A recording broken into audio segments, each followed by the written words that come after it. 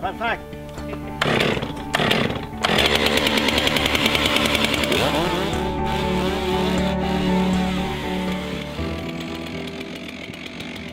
Jeg var løslatt fra fengsel eh, den første. Den fjerde så begynte jeg i hogst. Hogst var der når jeg kom tilbake og kom ut og gjorde det mulig for meg å kunne ta meg sjøl seriøst. Det er en hel- haug med banditter liksom, eh, som, som samler på, på en og samme plass. Men i, i, altså når du har fått strippa vekk alle de greiene der, så er det jo bare en, en gjeng med, med folk som er sulten på å gjøre noe annet og komme seg opp og frem. Liksom. Og vi har fått en uh, mulighet her. Jeg husker han ene sjefen min, han uh, Fleksnes, han eh, Alf Roar, han eh, sa til meg Dæven, Kim, nå har du fått en sjanse. Så tenkte jeg ja ja, sjanse og sjanse, fru Blom, liksom. Eh, det er noe, det er noe skitarbeid for eh, altså, Men etter hvert som tida gikk, altså, så har jeg jo sett at dæven for en sjanse vi har fått. Og vi, vi som klarer å, å, å stå han ut og, og være med hele veien gjennom, da.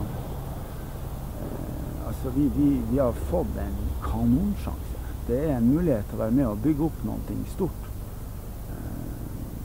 Så hvis, vi bare, bare se, hvis vi bare skal se litt på tallene.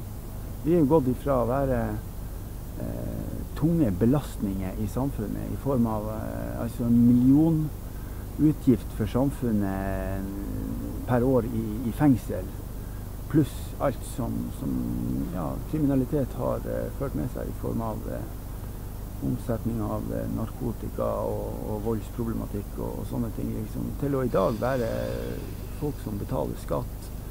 Koster ikke eh, samfunnet noen ting. Vi er med og bidrar til at folk har strøm i husene sine. Vi er med og bidrar til økonomisk vekst i samfunnet. Altså det, det er jo det er jo snudd alt på hodet. Det, det er en fantastisk mulighet, og det er en, eh, det er en god følelse å kunne komme hjem sliten og vite at du har gjort en ærlig dags med arbeid. Liksom. Jeg har jobba med mye forskjellig rart.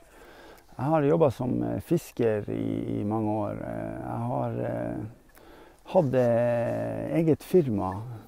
Jeg hadde satt opp og laga et kjerneborefirma oppe i Tromsø sammen med en kompis. Og jeg har drevet to hotell i Lofoten, og jeg har eh, kjørt søppelbil i et helt år uten sertifikat. Eh, og jeg har eh, jobba som slakter, og jeg har jobba som lakseslakter, og jeg har jobba som ja, veldig mange forskjellige ting, da. Eh, jeg har jobba som omsorgsarbeider. Jeg er utdanna helsefagarbeider. Og oppi alt det her så ja, Man har jo levd et, et, et, et dobbeltliv. Ting som det, det, det var jo dømt til å gå til helvete helt fra starten av. Han, eh, Erling fra eh, LO, som også har blitt ei ildsjel overfor oss, skikkelig. Han har eh, Vi har hatt møter hvor han har liksom Han har eh, både Han han han har hatt våte øyne, og han har visst følelser, liksom. Og han har visst hva, hva det her betyr, og han har sagt og forklart ting på en sånn måte som ikke kan fakes. Du ser at det er ekte, liksom. Han, han brenner for det her. Og han har vært med og backa oss og støtta oss. og vi er ufattelig glad for å ha han med på laget. da. Han er en eh, kanonmann.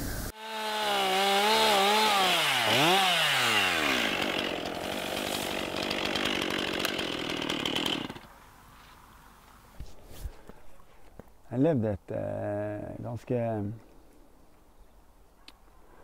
skal man si utsvevende liv, da.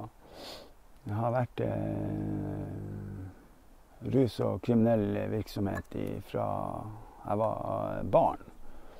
Fra jeg var liten guttunge, fra før jeg var tenåring.